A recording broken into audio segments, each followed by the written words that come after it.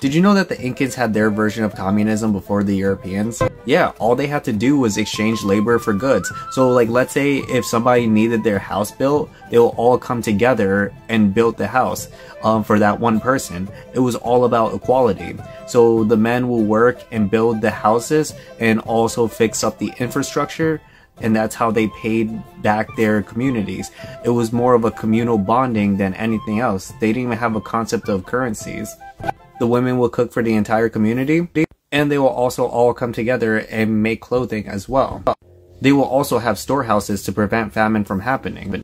The Spaniards were at awe and impressed by the Incan Empire, but the thing that didn't ring to them very well is how is it that the Incas had so much gold and didn't have a currency system? The Spanish was so obsessed with their gold that the Emperor Atahualpa thought that he can pay them off a thousand times over, like a room full of gold and then some. That's worth 400 million dollars to this day.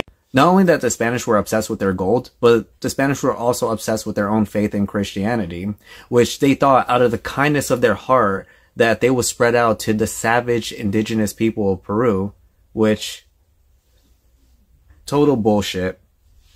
The Inca Empire did fall after the spread of diseases and war, which gave rise to the Spanish Empire.